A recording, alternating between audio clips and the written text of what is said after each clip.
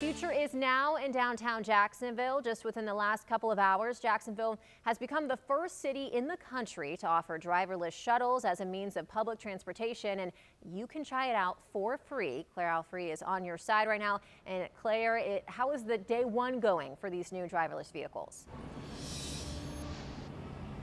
Yeah, Riley, I'm actually at one out of 12 stops here for Navi. It's JTA's first ever autonomous fleet shuttle system that's taking over downtown Jacksonville. And join this, this afternoon, we actually have uh, Greer Gillis. She works with JTA. This is your passion project. And let's hear from you. How has this morning going for the first ever public debut of these shuttles?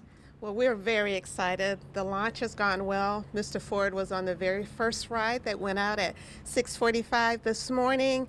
We were able to get several of the vehicles out running. They're running in autonomous mode at, different sections.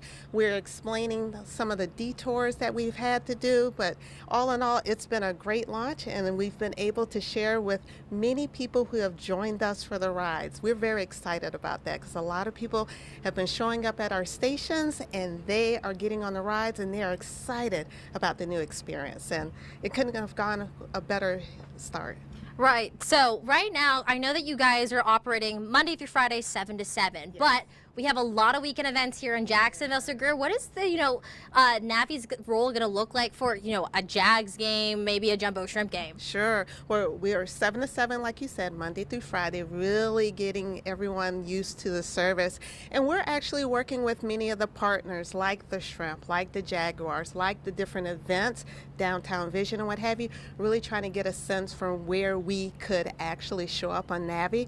Don't want to get stuck in too much of that stadium traffic or what have you, but we want to make sure as we partner with all of them to come up with that opportunities where we can showcase not just the innovation, but really why we put this in place to connect people from one point to another so they can get the full experience of all that downtown has to offer. Well, thank you so much for joining us on First Coast News. We're excited. And guys, if you want to get a ride on the Navi for yourself, well, they're actually offering free rides all the way from now through the end of September. You can find different shuttle locations that like, that look like this all throughout downtown Jacksonville. And like Greer said, it's operating from 7 to 7, Monday through Friday in downtown Jacksonville. Claire Alfrey, First Coast News on your side.